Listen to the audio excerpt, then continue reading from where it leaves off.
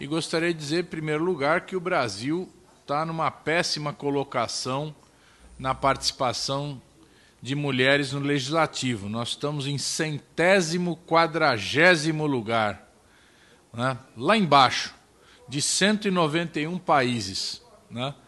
E na frente, primeiro país é Ruanda, segundo Cuba, terceiro Bolívia, Emirados Árabes, México.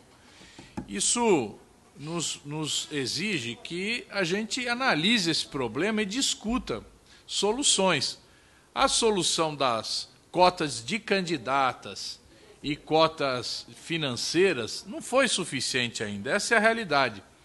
E aí a gente tem que discutir, a deputada Bia colocou aqui uma questão que eu acho que é central, é a representação, mas a, a forma como a gente tem feito é a representação política, das visões políticas, mas não está claramente representado o povo brasileiro.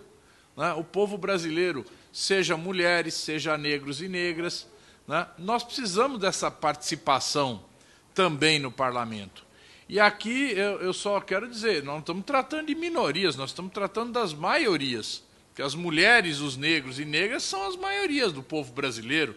Então o fato é que a organização política do nosso país, ela sempre deixou as maiorias em minoria no Congresso Nacional, nas assembleias, nas câmaras municipais, e esse é uma distorção brutal. Né? Existe, é verdade, a representação das tendências políticas, das opiniões políticas, que se organizam através dos partidos. Mas o fato é que o nosso país é extremamente atrasado no ponto de vista de garantir uma representação social. Então, eu acho que cabe a essa comissão dar um avanço. Né? E o avanço seria exatamente instituir a cota de mulheres no parlamento, e a cota de negros e negras no parlamento. Nós apresentamos duas emendas, uma em relação às mulheres, outra em relação a negros e negras, e queremos votar essas emendas, discutir essas emendas.